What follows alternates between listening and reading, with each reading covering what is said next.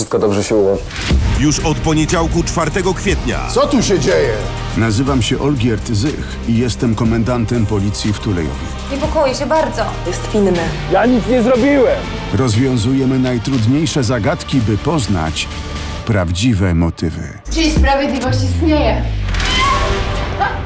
Oglądaj nowy serial Prawdziwe motywy. Już od poniedziałku 4 kwietnia. Tylko na TV Puls.